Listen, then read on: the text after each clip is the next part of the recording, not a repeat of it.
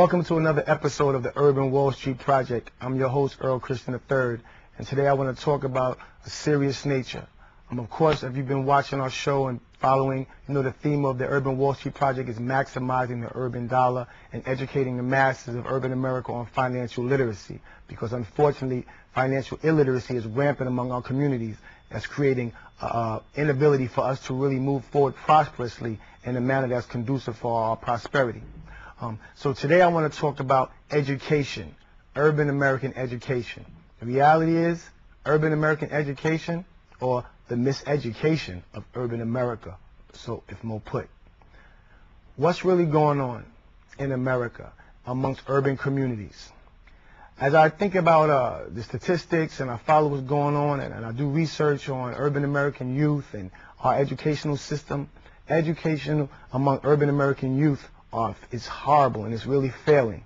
Um, and I wonder if it's the students, is it the curriculum, is it the administration, or is it the culmination of all of these things? But well, here's the reality, and it's very unfortunate, and it seemingly it's been this way in, in America for a while. In the U.S., we seem to have a culture of poverty, and that culture of poverty seems to suggest that people who are born in poor neighborhoods rarely leave those neighbors, neighborhoods, excuse me, for a more prosperous life. So the question I have to ask individuals is this. Is it possible for urban Americans to produce prosperity if they are not taught the essential elements necessary? It's, it's, it's wonder because remember that everything has to be taught. Children learn from their parents. Parents learn from their parents. People learn from society. In urban America, seemingly no one is teaching fundamentals of economics, fundamentals of money, the science of money. No one's teaching us uh, some of the correct, the correct ways to uh, to do things and, and be more producers than consumers. But when you talk about education, you have to recognize something that education and the dropout rate amongst urban Americans is staggering. The reality is um, almost 40%, almost 40% of urban Americans are youth are dropping out of school.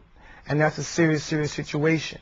You know, and, and there's a lot of different realities or, or theories behind why it happens. It's an urban school, or they don't go to private school, or they don't have the resources. But there's a lot of different things that come into play. And the reality is this. Are the resources there? They may be, they may not be.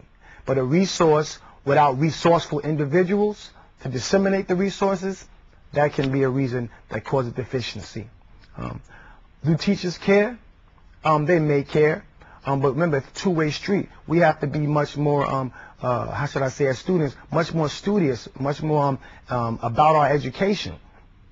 Sadly enough, though, um, as an educator, and I've been an educator, I've come to realize that it's not always the student and it's not always the administration. The sad thing is a lot of the material that we're still teaching our students is very antiquated. And I say that to say this. We're in a whole new time, okay? We're in, we're in a whole new era. We're in a whole new millennium. But a lot of the lessons that are being taught to students in the new millennium seem to parallel lessons I was learning back in the, uh, you know, in, in the 70s and the 80s. And if my thing is this, how is a community of people supposed to move further if we're learning old, outdated material? I mean, how many times are we going to talk about Christopher Columbus discovering America? There's so many other things that have happened since that time. How many times are we going to talk about the Civil War and the World Wars and all these things that are required? Because I can tell you this honestly. There's a multitude of information I was required to take in high school that to this date I have never, ever really used. And I can't say really, I say really to be modest, but I've never used a lot of it. I'm not going to say that it hasn't, it wasn't value at that time, but I've never used that information. So if I've never used the information, what was really the point of learning it? Are there not more things that we can learn that could truly put us in positions of prosperity as we become older individuals? And that's what it's really talking about. Because urban America is truly being miseducated. We're being miseducated maybe by our elders. We're being miseducated by the state. We're being miseducated by the country. Um, we're just being miseducated and non-educated in a lot of different arenas, um, in a lot of different areas. So I want to talk about it. Understand financial literacy is very important. But before you become financially literate, you have to have a degree of uh, academic literacy. So an urban school, what is an urban school? Because we hear it, you know, we hear it a lot, and it's in books. Urban schools are failing. Urban schools have this dropout rate. Urban schools have this type of situation. But what is an urban school, and how does it really differentiate from a non-urban school? Well, some might define an urban school as a school that contains students who are, uh, should I say, socially or academically at risk. And you say socially or academically at risk. Well, what defines at risk? Well, here's a few things that define an at-risk student according to the U.S. Uh, Census Bureau. Students who are not living with both parents is considered an at-risk student. Students um, where the parent or the head of household um, doesn't have full-time employment or steady employment, that's an at-risk student. Um, students uh, where the head of the household or parent was a dropout, high school dropout, that's considered an at-risk student. Uh, families who may be on income, uh, how should I say, not income, public assistance or welfare, who have very low income. And families with no health insurance for the child. Now, I'm an urban American, and I live in urban America, and I know a whole lot of people who fall into at least one of those categories. So when we look at it, we can say almost 75%, and those are some of the numbers from the United States Census Bureau, almost 75% of urban American youth fall into that category. That means three-fourths of the urban population of students fall into the category of at-risk students. Now, if they're an at-risk student, that seems to mean that they would might need more resources, uh, more attention, um, and, and definitely more support. Is that support readily and available? I believe in some situations it is, but let's talk about it. Miseducation. Just because information is there doesn't mean people are going to get it. Um, in a situation where you have an at-risk student, at-risk to me means that this person is going to need someone to go the extra mile. Is there somebody willing to go the extra mile for urban American youth? Urban Americans, are we willing to go the extra mile for urban American youth? Understand this, the youth are our future. So we don't pay attention to our present and understand what's going on in the present lives of our um, youth, then we already know what's going to happen with the future of urban America. It's very important. Understand something. We are not separate. The elders and the youth of urban America, we are all one cohesive unit. You know, I was talking uh, to my to uh, to my mother recently, and she was talking and telling me a fact, and this is in New York City, um, by the chancellor. And you know if it's a fact, but she definitely read it and she's very thorough about it. But it's just something to think about urban America because we see it. And I'm gonna say this: understand that in America, prisons are being built at a ratio of six to one, six prisons per school. Well, do you know that when a student's in the third grade and the student takes their citywide test or those tests that are mandated by the state to determine whether they get promoted or go to the next grade or to see where they are academically, do you know also that those those test results are used to kind of determine how many prisons might be built in the future. Now, I'm not going to digress and go off on a tangent, but that's a serious situation because if you're looking at the productivity of at-risk students, and they may not be getting the support, whether it's from their home or whether from the school or whether from any agency that they need to, to move out of the at-risk category or overcome the obstacles of being an at-risk student. And we're putting, we're, we're looking at that and deciding how many prisons we're going to build. That's a serious situation, urban America. I mean, I've done several um, shows and talked about different uh, different aspects of why we are where we are and, and, who's responsible for urban America. I personally feel that we are responsible for ourselves. It's very important that we understand that. My child is my child. Your child is your child.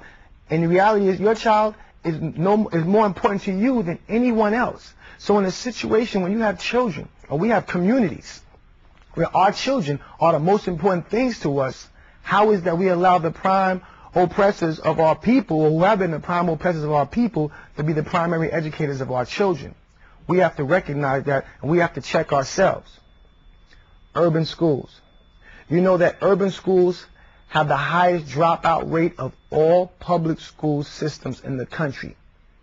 40% of the country's low-income students and 75% of its minority students are in public schools or in urban schools. Okay, urban districts um, seem to have the largest numbers when it comes to students with physical, mental, and um, emotional instabilities. So these are a lot of different areas that are affecting our children. We have to recognize that and understand what's going on. Can we be more involved? I like to think back to when I was a young person living in Brooklyn. And I remember we had, uh, how should I say, was block associations. And then y'all remember that? We used to have block associations, tenant associations. And when we in those block associations, your family was that entire block. If you were doing something wrong, that person at the corner called your mother. If you were cutting school, that person saw you cutting school, they would let your mother know, and you would be dealt with. And I'm sure some of you that can remember that, whether you're from the north, from the south, from the east, or the west, I'm sure some of you can relate to that. But I definitely remember some people telling on me.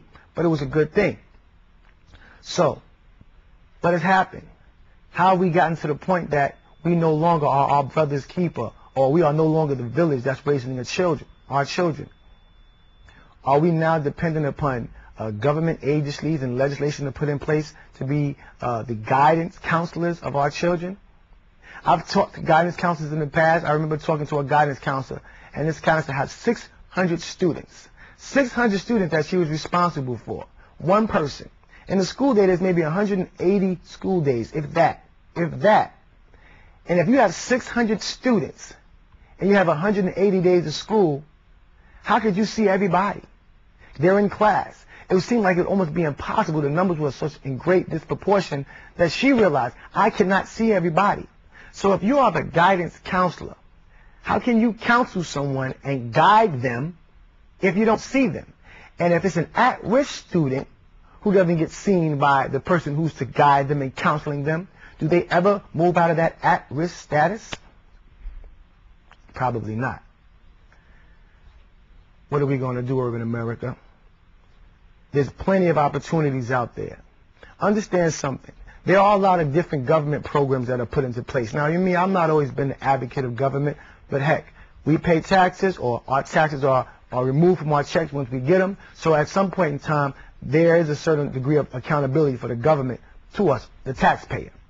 If you pay taxes, if you work, if you're a productive member of society, then truly you are entitled as a citizen of America. And we have to stand up and start being more commanding of what we re require and respect for our community, respect for our communities. There are programs for you who are watching that your children can take advantage of. There are programs that you can take advantage of to get your children involved in things. Now, I understand a lot of people might have, you know, uh, their own particular hang-ups about education or, or the school system or what the school does or what the school doesn't do. Well, there's also something called homeschooling. If, in fact, you ever feel that your school is not um, educating and guiding your child properly, you have an option. What's your option? You can homeschool your child. You can take your child by the hand and say, listen, I'm going to educate you myself. I'm going to hold you out of school for a year or two years. There are options. They're not easy, but the options do exist. The reality is this, our students are losing. When in urban America, 40% of students are dropping out. 40%. Graduation rates are at the lowest they've been. And a lot of students think they're just going to drop out and get the GED. We have to let our children know that that GED, uh, that good enough diploma, it really isn't good enough. When guidance counselors suggest to our students that, you know, if, you know, you might, you might be better served, you know, taking your GED because school might not be the place for you. We need to check that guidance counselor and get that person removed. Because trust me, I've worked in schools and I've worked with students. Students are being told information like that. Yes, at-risk students, our youth, are being told by counselors that they can't do it or maybe they should consider a GED. Can you believe that? I'm going to counsel you, I'm going to guide you, but I'm going to guide you to take a test that in all actuality, if not looked upon favorably, I give you credit and all those who get credit, I was a GED instructor. But the reality is, it's not really good enough. You definitely have to go on and move to the next level. So you have to correct that miseducation.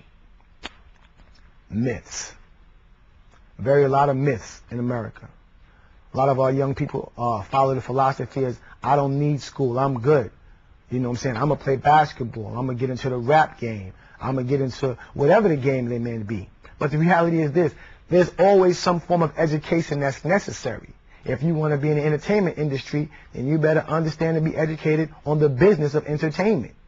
If you want to be an athlete, then you want to be educated on the business of sports, sports and entertainment. So that, God forbid, you get an in- injury, you can do something else beside it, a commentator or something else that's going to show that you have been educated and your mind is equipped and maintains the capacity to do something beside basketball, throw a ball, or dunk a ball. It's real like that. Sadly, everyone is not going to recognize this. Sadly, everybody is not going to understand that we have been miseducated. Sadly, everyone is not going to understand and recognize the necessity and the imperative nature of us starting to educate ourselves and our youth. So what can we do? How can we begin? Is it possible for urban America to educate urban America? Well, I believe it is. And you ask me why? Well, let's think about the 1800s. Let's think about the days of slavery. Who were the primary educators of our children? Slaves. Whether it was up late at night, whether it was with a candle, whether it was with a match, however, under the stars, whatever the case may be, we were educating our children. We were teaching them how to read. We were teaching them how to write because we understood the importance and no one else was teaching us. No one else was teaching that. You know, I wonder if, you know, when segregation came in, when segregation was in place, you know, we always talk about segregation and, and, and integration. I wonder if when we became a more integrated society, our communities became a more miseducated community or more miseducated society. Because rarely now do I see urban American families providing great um, educational assistance. And when I say that, I say this to mean this. I work with schools. And I had a teacher recently tell me during open school night, 300 students this teacher has. 300 students. Six. Six parents came. So if six out of 300 parents are coming to the school to see how my child is doing, to see how their children are doing, what is that saying about the other 294 people? Is the school to believe that these parents don't care? Are the schools to believe that the parents are satisfied with the level of education being stored upon their children? Is the school to believe, or the administration to believe, that getting a 2 or a 1 is okay? That 65s are good enough because I passed? It's not good enough. Why are our children dropping out at record numbers? Why are the graduation rates so low? Is it the student? Is it the school? Is it both? Is it the curriculum? I like to think it might be the curriculum. Now, I'm not here to judge or blast, you know, the curriculum and say that it's, it's not good or it's not or it's bad. But here's the reality. Over the past 10, 15 years, urban education, urban youth seems to be, uh, uh, how should I say, becoming deprecated. It seems to be deteriorating. So if the curriculums that are in place are in, in our schools are not producing greater students and greater scholars, then in my opinion, seems like there's something wrong with the curriculum. You know, if it, they say if it, if it's not broke, don't fix it. Well, our, our students are broke. This system is broken because our, it's not working for our students. It's not giving them what they need. It's creating imbalanced youth, an imbalanced perception of what education is, an imbalanced perception of what they need to be focusing on in school. And if it's broken, then it must be fixed. Now, I asked earlier, how can we fix it? Well, the reality is this. What if the system doesn't want to fix it? What if it is how it is because that's how it's supposed to be for the, for the purposes of those who seek to keep urban youth at a certain situation? Understand, these are just my opinions, things that I think about. Every single person in urban America, if you're a parent, you're a teacher, an administrator, if you care, give two cents about our youth, our students, you look around, you realize there's a serious problem. But what are we doing? Are we writing to congressmen? Are we calling our elected officials, our selected officials? Are we up in the schools commanding a change? Are we sim simply shipping our children off day in and day out hoping that everything is going to be all right. I'm going to tell you something. Hope is not a plan. Because if you hope to pass a test and you don't study, you're not going to pass it. If you hope to get a job and you don't go look for one, you're not going to find one. If you hope to have a good marriage, but you're an infidel, you probably won't have a good marriage. So understand that hope is a non-action verb. So beyond hope, we have to couple hope with action. We have to be very much involved directly. And now that comes with something else that I talk about, being proactive or reactive. When it comes to our education, no longer can urban America afford to be reactive. You know, reactive is people who kind of sit back and when things happen, they, they let their conditions and their environment dictate their behavior.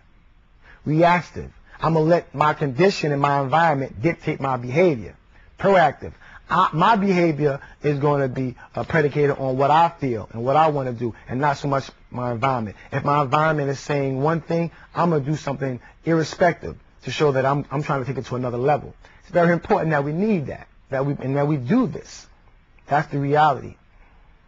Urban American youth are dropping in record numbers and they're losing. And I look in the face of some of these young people daily and I see the yearning. I see them wanting to learn. But I'm going to tell you, my brothers and sisters, if you're not a teacher, if you're a parent, if you're an aunt and your uncle, and you're not involved in your youths, uh, in your community, whether it's your nephew, your daughter, your son, you really have to get involved because the system is not changing for the betterment.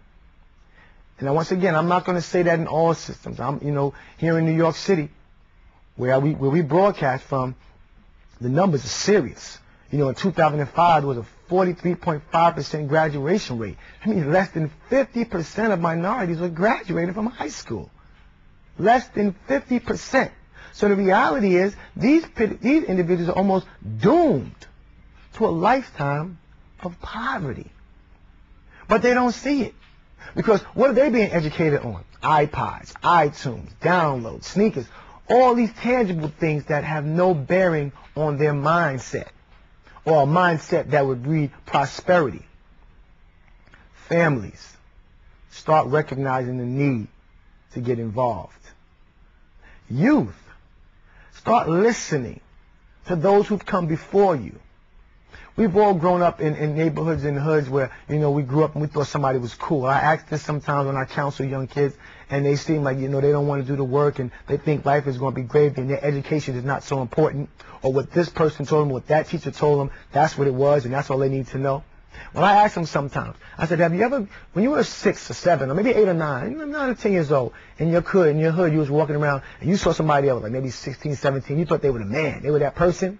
But now you're a little bit older and you see that person still chilling on the block, still doing the same things. Do they have the same effect on you? Do you still see them in the same light? Many of them say no. And I say, why? And they say, because they're not doing anything. I said, so what has changed? Have they changed over the past five years? Or has your perception changed? And it's their perception. They recognize now that this person is not really doing anything productive. So as where I was once idolizing this person, I realized this person is not to be idolized. Earlier on, this person was miseducated, misled by this particular individual because they thought that person was what they wanted to become. And it's not. I'm not going to sit here and profess to know all the answers to correct urban American educational system. I'm not going to sit here and suggest and profess that the educational system doesn't work. I myself am a product of the public school system. Some of my some of my friends went on to college, some of my friends didn't. Some of my friends listened to their parents, some of my friends didn't. Some listened to the guidance counselors, some didn't, and the list goes on. The reality is this, your education, urban America, is up to you. I'm going to say that again. Your education, urban American, youth, is up to you. Do not let your future be dictated by those who are not from your community.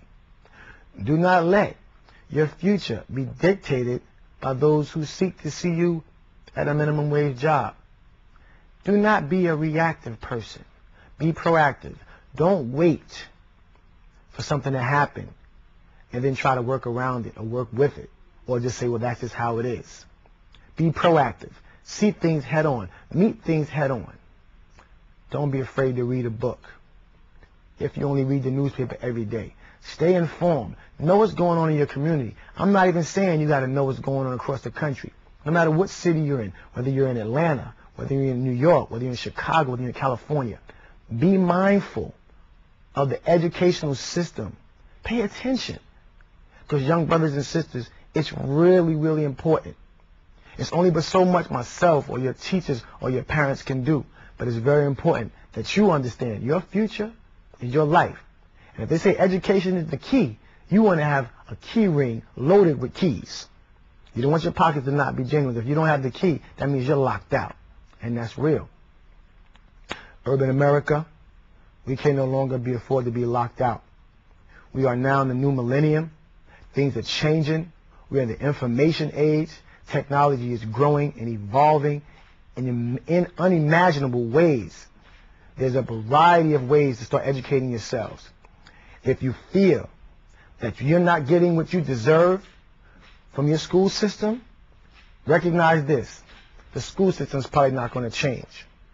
If you feel that your teachers don't give you the support, recognize they may not. And not because they don't want to. Maybe they don't know how necessarily to give support. Because remember, naughty by nature. Treach had a song back in the day. If you ain't ever been to the ghetto, stay up out of the ghetto because you wouldn't understand the ghetto. Now that might be, you know, eloquent for that particular time and age, but it's real. Everyone can't teach urban American kids because you have to understand what they're going through. You have to understand the social ills. You have to understand the emotional ills. You have to understand the street ills. And if you don't understand them, it's going to be very hard to relate. But who can relate to urban youth? Urban elders. Be mindful. Our education is the only thing we have to get us up out of this turmoil that we're in. Be very conscious of what you do.